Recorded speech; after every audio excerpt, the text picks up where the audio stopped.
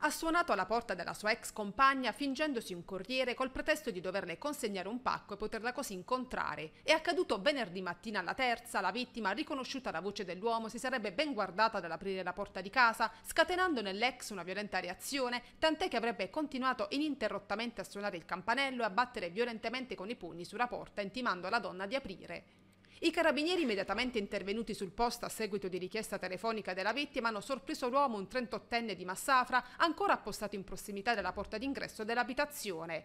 Raccolti e valutati tutti gli elementi investigativi del caso, lo hanno arrestato per atti persecutori e su disposizione dell'autorità giudiziaria condotto agli arresti domiciliari presso la propria abitazione.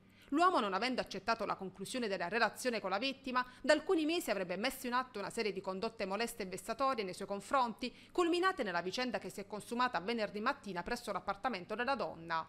L'eventuale responsabilità dell'indagato dovrà essere accertata con sentenza definitiva, valendo fino ad allora la sua presunzione di innocenza.